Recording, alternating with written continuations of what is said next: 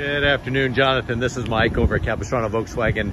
Just wanted to give you a quick look here at the one ID4 Pro that we can actually sell.